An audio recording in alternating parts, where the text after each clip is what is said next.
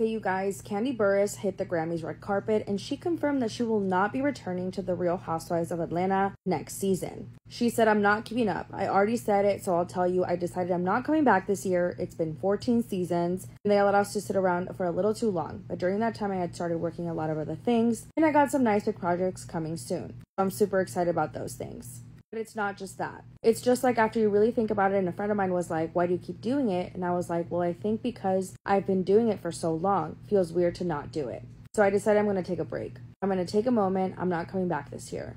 Kandi has been on the show since season two of The Real Houses of Atlanta. And after this previous season, it does not shock me that she doesn't want to come back. I wouldn't say that this past season was an epic fail, but it was definitely subpar at best.